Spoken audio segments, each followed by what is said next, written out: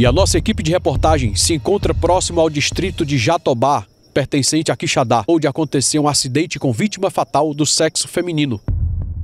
E a nossa equipe conversa agora com o Dr. Rodrigo, delegado municipal de Quixadá. O apurado preliminarmente é, deduz que o marido né, vinha pilotando a moto e que fez uma ultrapassagem antes de acontecer o acidente.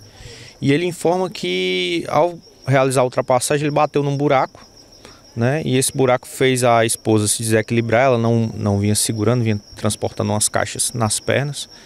E aí ela acabou caindo do veículo e bateu a cabeça no, no asfalto, né? Infelizmente veio a óbito aí no local. A vítima foi a Maria Daiane, de 21 anos, e ela residia no distrito de Serra do Padre.